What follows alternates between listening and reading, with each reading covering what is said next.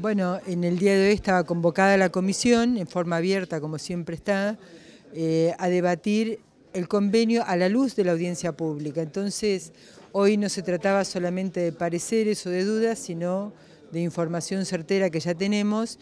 Y mm, bueno, tuvieron la palabra prácticamente todos los legisladores, todos los bloques, inclusive algunas personas que no son legisladores.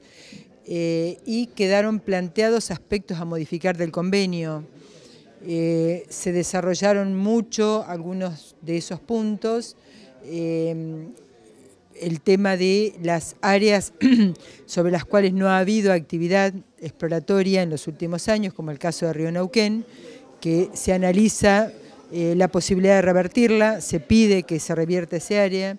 se analizó también el tema de eh, la transferibilidad, eh, ya que el convenio deja expresa una cláusula por la cual no pone limitaciones a, la posibilidad de transferir eh, la concesión.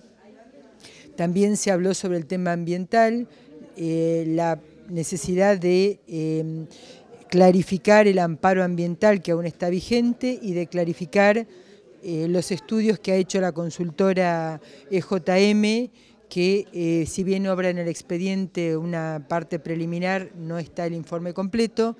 También se puntualizó eh, la necesidad de que eh, las inversiones en especie que va a hacer la empresa Petrobras sean objeto de un contralor por parte de los organismos del Estado, una, evaluación y un contralor de los mismos.